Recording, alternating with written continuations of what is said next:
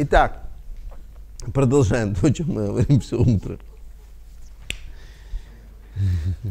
О чем мы говорили вчера, позавчера, сегодня. Смотрим на простые вещи. Вопрос еврейства и вопрос отождествления себя – это вопрос моего сегодняшнего состояния.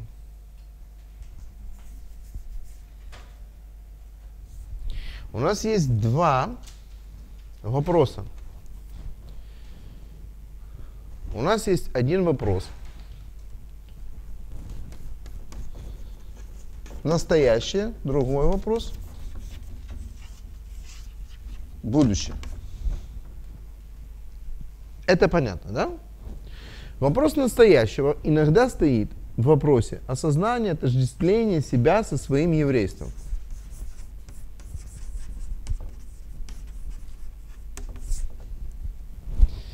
Вопрос осознания – это отождествление себя со своим еврейством. Для чего? Всегда будет существовать вопрос, для чего те или иные люди отождествляют себя с еврейством. Зачастую существуют теории о том, что поскольку у евреев отдельные взаимоотношения с Богом, то при общении к еврейству дают определенные бонусы и гарантии, да, на тему того, что будет в будущем. Понятно, о чем я сказал? Еще раз. Многие люди думают, что отождествление себя с еврейством дают какие-то бонусы и гарантии по отношению к будущему. Что у евреев определенный, отдельный от всех остальных народов путь приближения к Всевышнему. Но что говорит нам апостол Павел во втором послании к римлянам? Обрезание полезно. Второе послание, э, вторая глава с 25 стиха. Вторая глава послания к римлянам с 25 стиха. Обрезание полезно, если не если исполняешь закон. Если ты преступник закона, то обрезание твое стало не обрезанием. С одной стороны, человек что? Отождествлен с еврейством. Он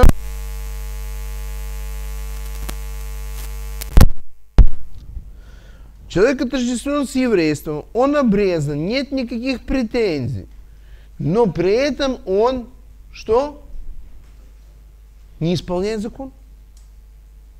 И апостол Павел говорит, полезно, если ты исполняешь. А если ты не исполняешь, то обрезание твое стало не обрезанием. То есть на самом деле, несмотря на то, что на твоем физическом теле присутствует определенный знак, он говорит, что а этот знак на самом деле по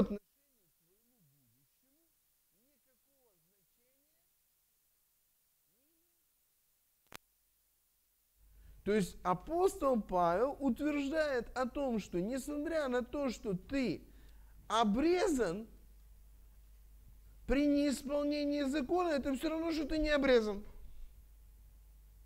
Смысл в чем? В исполнении закона. Дальше он говорит, итак, если не обрезанный, это который не обрезанный, это кто у нас?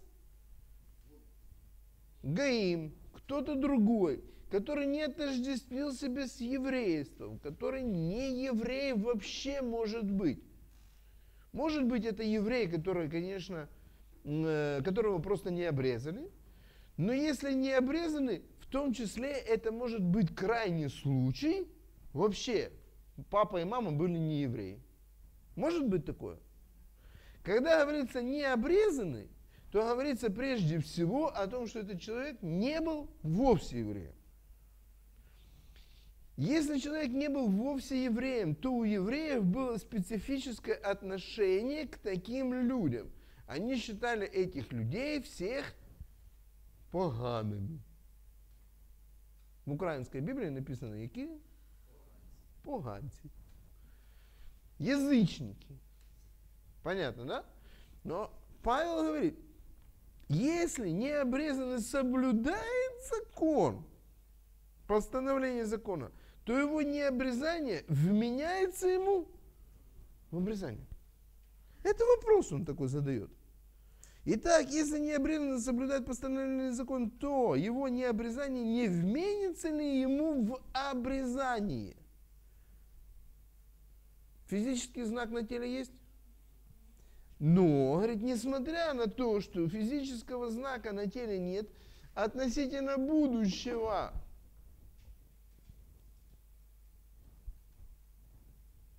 вменится. Кем вменяется? И кем не вменяется? Всевышним. Мы можем приходить на основании нашего обрезания, а Бог говорит, тут посмотрел я на тебя – и не вменяю тебе этого обрезания. Говорит, подожди, я же обрезан. Говорит, а я не вижу. Говорит, посмотри внимательней. Говорит, я смотрю, но на другую часть ты не исполнял. Что? Говорит, так я же обрезан. Он говорит, не имеет значения. Другая часть приходит, тот, который был не обрезан, говорит, вменяю тебе обрезание. На основании чего? исполнение закона. Павел говорит о том, что есть выбор у человека, и от этого выбора зависит его будущее. И выбор лежит в плоскости физического состояния или выбор лежит в плоскости исполнения закона.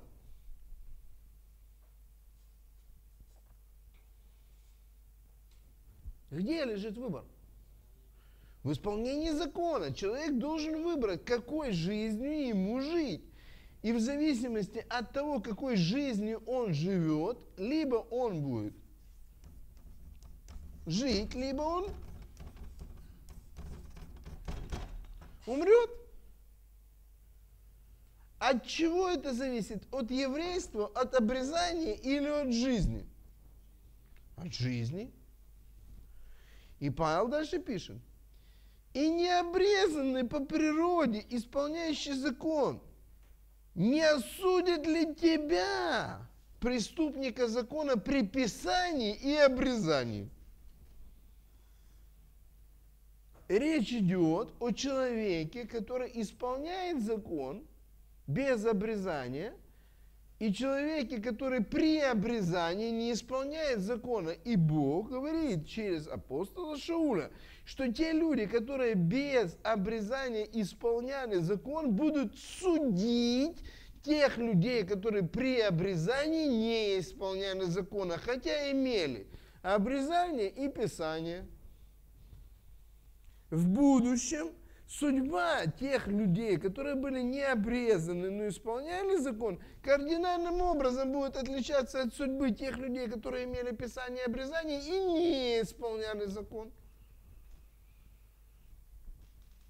Понятно, о чем идет речь? И дальше он говорит, послушайте, потому что не тот иудей, который по наружности таков –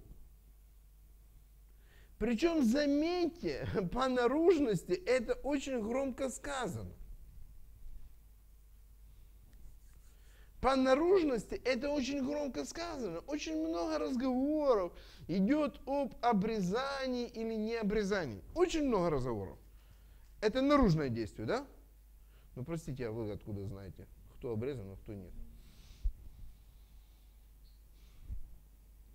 Это же не видно те члены, которые требуют определенного попечения, они скрываются. И их не видно. Никто не знает. Он говорит, послушайте, ну вы, ребята, чересчур сосредоточены на том, что вообще не видно для большинства людей. Вы так много придаете значение наружным вещам, которые по сути скрыты от всех остальных. Понятно? И он говорит о том, что не тот иудей, который наружно таков.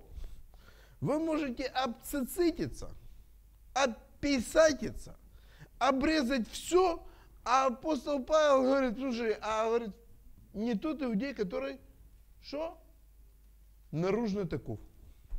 Говорит, вообще никакого значения не имеет.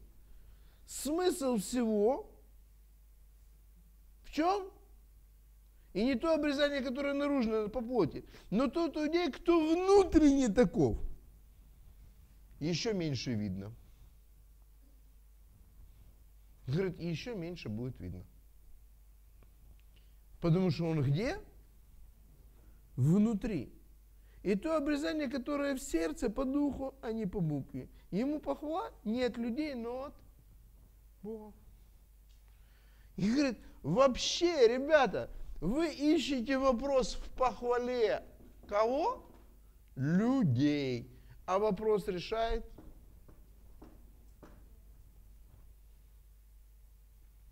И вопрос, почему же настолько много внимания уделяется вопросу внешнего обрезания в новозаветных общинах? И так мало иногда уделяется внимание внутреннему обрезанию сердца. Сэм 8? Понятно? Понятно? К сожалению, очень беспокоит вопрос чужого обрезания.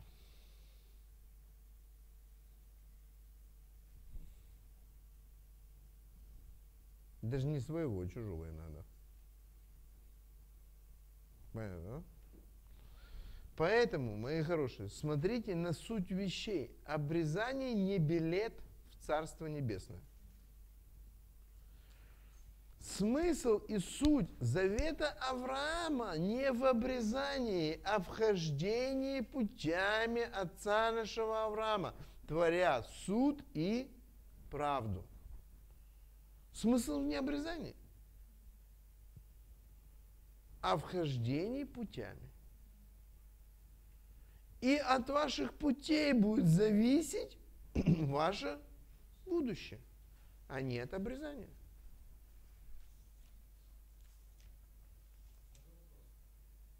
Микрофон возьмите и задайте.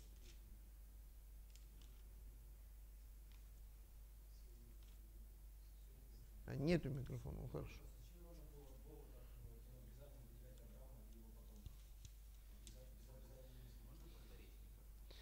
Вопрос звучит следующим образом.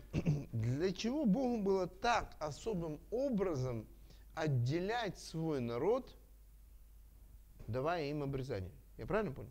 Окей. Okay. Э, давайте себе зададим вопрос. А зачем Богу было садить в Эдемском саду дерево познания добра и зла, если от него нельзя было кушать?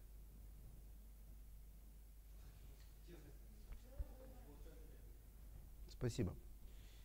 На самом деле, если не будет запрета, не будет свободы выбора. Вам не из чего будет выбирать.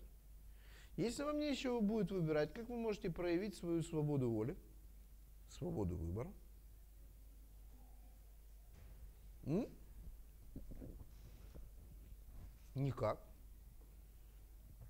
То есть, если я не скажу, не трогайте чашку, как вы можете реализовать свободу выбора, трогать вам чашку или не трогать? Когда будет запрет, когда будет ограничение. И Бог говорит, послушайте, вы должны это сделать. А я посмотрю, послушны вы этому или нет. Вопрос в сути обрезания или в форме. Суть-то послушание, а не именно само обрезание. Понятно, да? Мы сосредотачиваемся на форме, забывая про суть. Мы часто сосредотачиваемся на форме, забывая про суть. Матвея, 1, э, Матвея 8 глава с 11 стиха. Матвея 8 глава с 11 стиха. «Говорю же вам, что многие придут с востока и запада. Говорю же вам, это кому сказано? Да, людям, которые находились в Синайском завете. Люди, которые были евреями, к ним обращаются и говорят, говорю же вам. То есть на самом деле слушатели не были и язычники. В лучшем случае это были прозелиты или геры, которые, в общем-то, были тоже евреями, находящимися в Синайском завете. Других там не было. Язычников там что? Не было. И Иешуа что делает? Предупреждает их. Говорю же вам, что многие придут с востока и запада и возлягут с Авраамом, Ицхаком и Яковом в Царстве Небесном. Он говорит, послушайте, будут ребята, которые придут с разных сторон и возлягут где? Это верхний выбор, да? Он говорит о том, что это будут евреи. Ни слова. Говорит, ни слова. Говорит, многие придут. По слову, многие на тот период времени рассеяния, еще период, как бы не начался, они в эту сторону еще не думали. Да? Они, большинство евреев, ну, очевидно, жило где? В Израиле. Те евреи, которые в большей части своей ушли, были уведены в рабство, они ассимилировали. Те евреи, которые остались в Вавилоне, мы помним, мы читали вчера, что только те, которые пошли строить храм, названы все, весь Израиль. Весь Израиль. И здесь говорится о том, что многие придут. Очевидно, идет речь не о совсем евреях. Да? Но когда идет речь о сынах царства, идет речь о ком? Можно ли кого-то на тот период времени еще, кроме евреев, назвать было сынами царства? Нельзя. Но здесь есть противопоставление между теми, кто придут, и сынами. Извините. Здесь идет речь между теми, кто придут и возлягут, и сынами царства. Значит, очевидно, идет речь о неевреях и евреях. И он говорит, что в будущем будет весьма неприятная картина. Он говорит о том, что те, кто не евреи, придут и что сделают? Возлягут. А сыны царства будут? Ой, как неприятно. А сыны царства извержены будут во тьму внешнюю, и там будет плач и скрежет.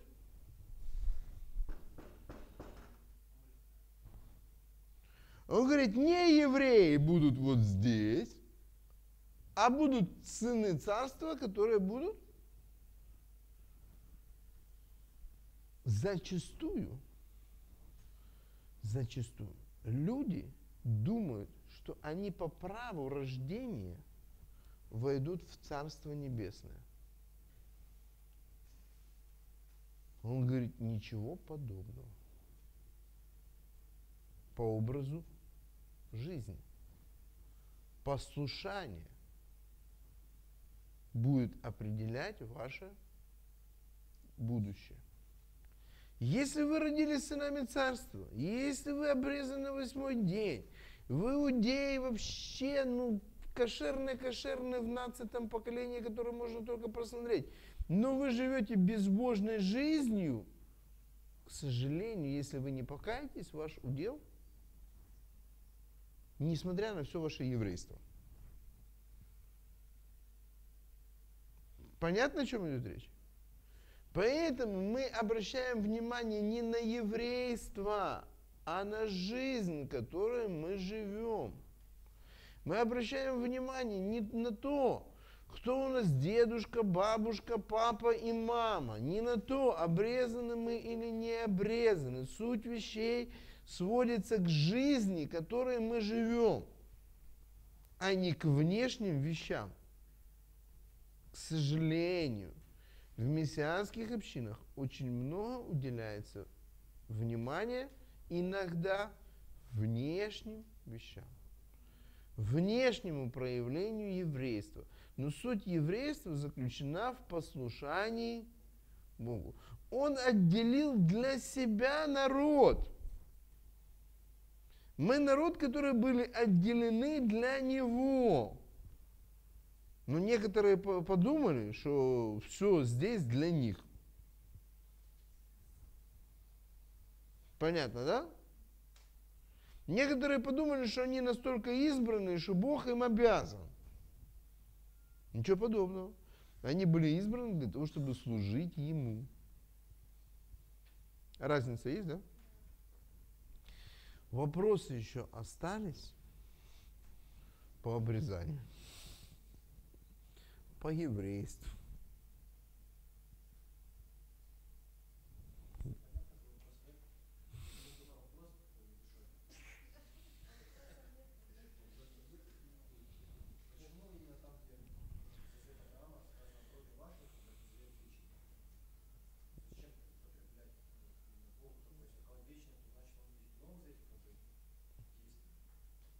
А я прошу прощения.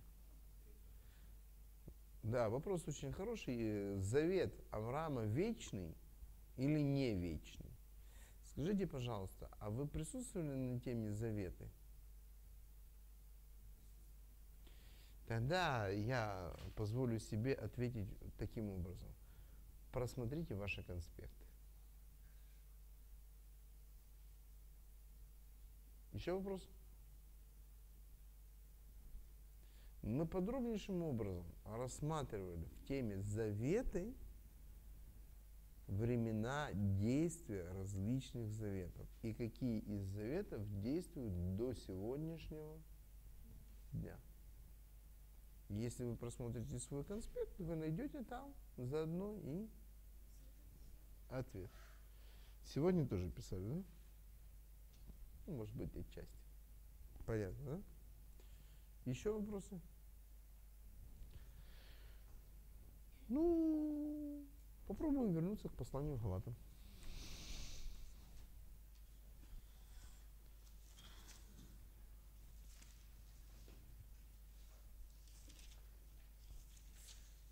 Я, конечно, вас чуть позже спрошу, сделали ли вы домашнее задание или нет.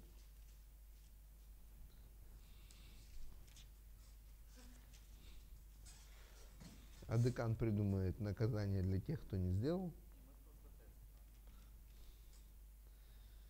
Итак, потом через 14 лет ходил опять в Иерусалим с Варнавой, взяв с собой и Тита, ходил же по откровению и предложил там и особо знаменитым благовествование, проповедуем мной язычникам. Не напрасно ли я подвязаюсь или подвязался? Разбирались, да, вчера достаточно подробно, с какой частью ходил своего благовествования апостол Шауль к